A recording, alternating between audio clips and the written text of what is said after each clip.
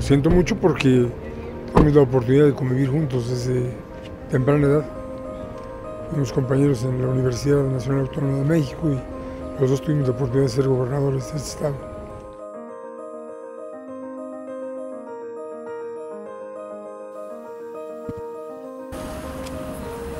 y estamos de luto en la municipio de Huixquilucan.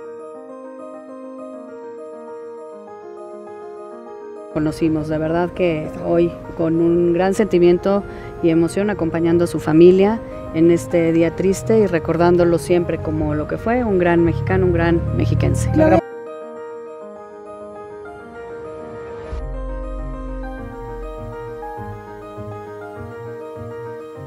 Pues amigos, familia, colaboradores, gente que lo quiso y gente que quiere a su familia. Y siempre pues en estos momentos recordándolo.